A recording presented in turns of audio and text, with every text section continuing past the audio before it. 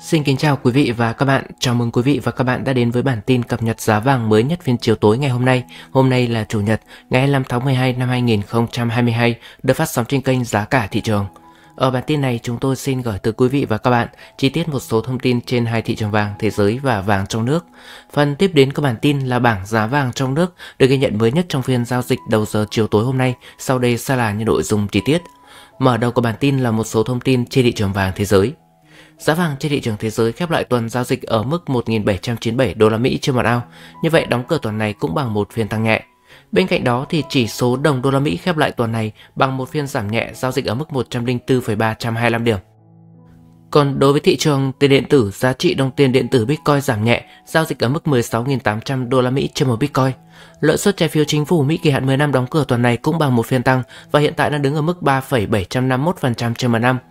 Trên thị trường năng lượng thì giá dầu thô tăng nhẹ đóng cửa tuần này ở mức 79,384 đô la Mỹ trên một thùng.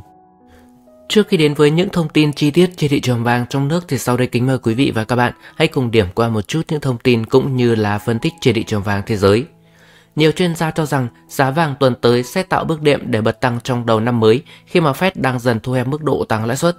Với hàng loạt những số liệu được công bố trong tuần vừa qua thì cho thấy nền kinh tế nước Mỹ đang trên đà phục hồi. Với đà phục hồi này, kinh tế Mỹ có thể sẽ thoát khỏi nguy cơ suy thoái trong năm 2023.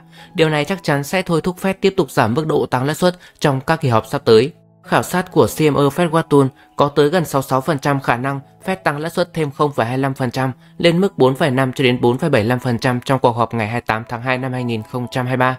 Theo ông Colin, chuyên gia phân tích ngoại hối độc lập cũng cho rằng với tốc độ phục hồi tăng trưởng kinh tế Mỹ và giảm lạm phát như hiện nay, thì nhiều khả năng Fed có thể sẽ chỉ tăng lãi suất thêm từ 2 cho đến 3 đợt nữa, mỗi đợt khoảng 0,25%, rồi sẽ chấm dứt chu kỳ tăng lãi suất hiện hành. Một khi Fed gần tiến tới chấm dứt chu kỳ thắt chặt tiền tệ thì đồng đô la Mỹ sẽ giảm giá dần, qua đó sẽ đẩy giá vàng đi lên.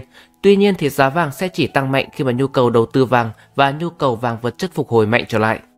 Vậy thì xu hướng của giá vàng trong tuần tới sẽ như thế nào? Dù còn nhiều thách thức sau khi mà mở cửa dần trở lại, kinh tế Trung Quốc sẽ dần phục hồi, qua đó nhu cầu vàng vật chất ở Trung Quốc, quốc gia tiêu thụ vàng lớn nhất trên thế giới sẽ tăng dần trở lại trong năm tới. Còn với Ấn Độ, quốc gia tiêu thụ vàng lớn thứ hai trên thế giới, dự báo cũng sẽ tăng trưởng tới 5,9% trong năm 2023, qua đó sẽ thúc đẩy nhu cầu vàng vật chất ở quốc gia này. Ngoài ra thì nhiều ngân hàng trung ương cũng đang đẩy mạnh mua vàng dự trữ, do đó nhiều chuyên gia cho rằng nhu cầu vàng vật chất sẽ quay trở lại, hậu thuẫn cho đà tăng của giá vàng trong năm tới. Về nhu cầu đầu tư vàng thì dù kinh tế Mỹ đang có xu hướng phục hồi nhưng chưa thực sự tăng trưởng vững chắc, kinh tế khu vực châu Âu có nhiều khả năng sẽ rơi vào suy thoái. Nếu mà không suy thoái thì cũng sẽ chỉ tăng trưởng rất thấp, trong khi nền kinh tế Nhật cũng khá y ạch, do đó mà kinh tế thế giới vẫn còn tiềm ẩn nhiều nguy cơ suy thoái và đặc biệt là cuộc khủng hoảng địa chính trị, nhất là chiến sự giữa Nga và Ukraine có thể sẽ vẫn kéo dài trong năm 2023 và những tác động khó lường đến giá dầu cũng như giá lương thực và rất nhiều giá mặt hàng khác. Do đó, những bất ổn kinh tế địa chính trị cũng sẽ thúc đẩy các nhà đầu tư tìm đến vàng làm nơi chỗ ẩn an toàn. Và ông Colin cũng cho rằng trong tuần tới, phần lớn các nhà đầu tư đã tạm ngừng giao dịch. Do giá vàng tuần tới sẽ tiếp tục điều chỉnh, củng cố, đây sẽ là bước đệm vững chắc cho giá vàng bật tăng trong đầu năm mới. Giá vàng có nhiều khả năng sẽ quay trở lại mức 2.000 đô la Mỹ trên một ao trong năm 2023, nhất là khi Fed ngừng tăng lãi suất.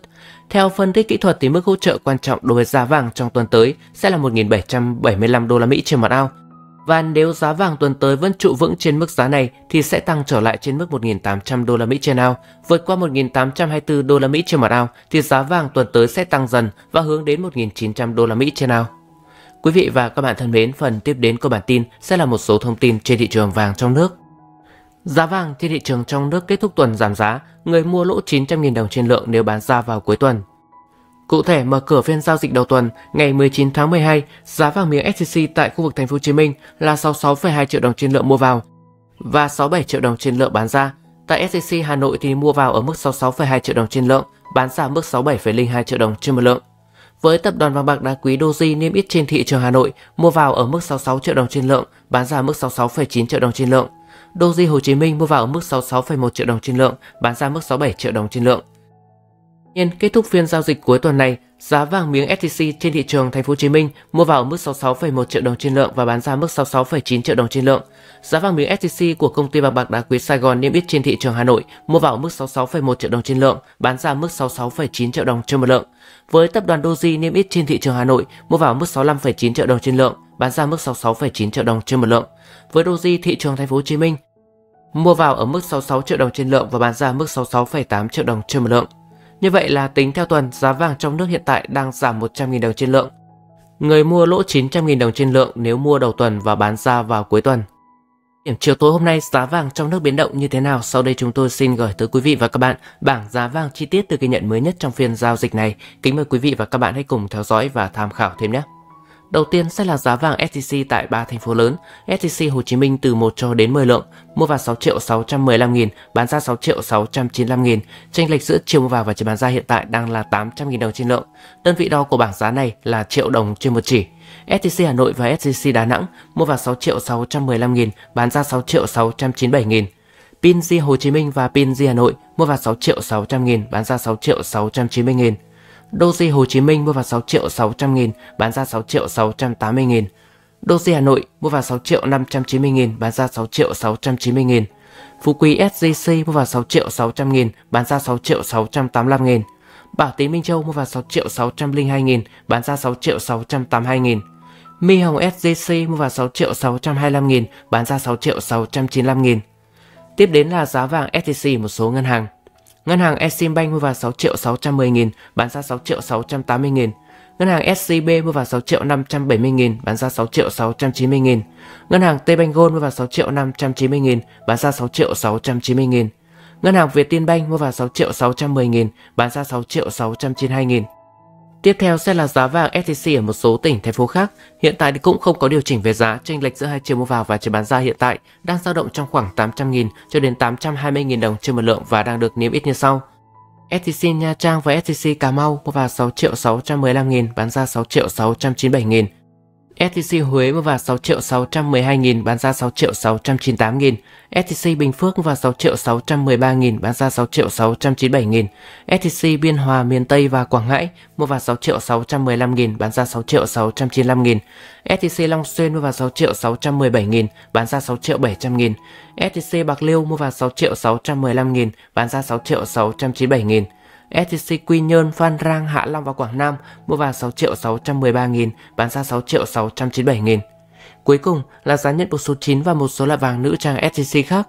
Hiện tại thì cũng không có điều chỉnh về giá và đang được niêm yết như sau. Nhận một số 9 từ 1 cho đến 5 chỉ, mua vào 5 triệu 290 nghìn, bán ra 5 triệu 390 nghìn. Nhận bốn số 9 loại nửa chỉ mua vào 5 triệu 290 nghìn, bán ra 5 triệu 400 nghìn. Vàng 4 số 9 mua vào 5 triệu 280 nghìn, bán ra 5 triệu 350 nghìn. Vàng 24K mua vào 5 triệu 167 nghìn, bán ra 5 triệu 297 nghìn.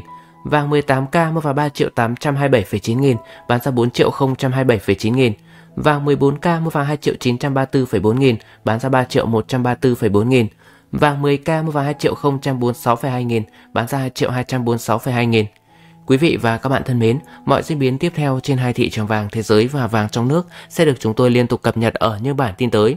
Quý vị và các bạn cũng đừng quên bấm nút đăng ký kênh phía dưới góc phải màn hình của video này, cũng như tích luôn quả chuông ở bên cạnh để mỗi khi có thông tin mới, chúng tôi tiện thông báo tới quý vị và các bạn hơn.